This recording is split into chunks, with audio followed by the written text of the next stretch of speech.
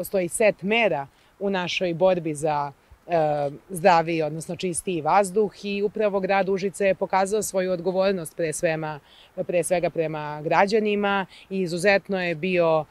aktivan, bio i agresivan ka ministarstvu u pozitivnom smislu, dakle imao spremne projekte i zato danas i možemo da vidimo ove rezultate. Kao što smo i čuli u prethodne dve godine, individualna i domaćinstva, dakle zamena kotlarnica u domaćinstvima je izuzetno imala odziva u ovom gradu, jer svakako širom Srbije od grada do grada je različita, različito interesovanje, a i različito um, zagađenje. Stoga u Užicu su ljudi ekološki odgovorni, očigledno i 700 domaćinstava je zamenilo svoju uh, kotlarnicu i prešlo ili na, na pelet ili na uh, gas. Naravno da se nećemo ovde zaustaviti, trudit ćemo se da ovi konkursi budu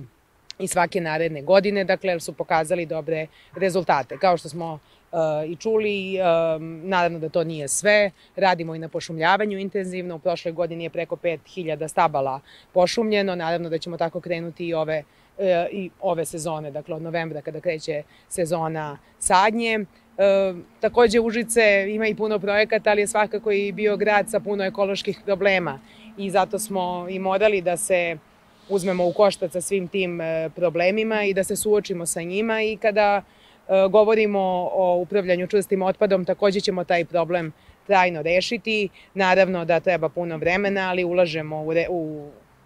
ojačavanje bedema, to smo već i uradili, proširenje kasete na deponiji Užice, duboko, ali ono što je najvažnije jeste da je ta de deponija jedan od regionalnih, odnosno reciklažnih centara koji ćemo raditi uh, iz sredstava kreditne linije, dakle i potpisan je taj ugovor, odobrena su sredstva i mogu da uh, kažem da trenutno konsultanti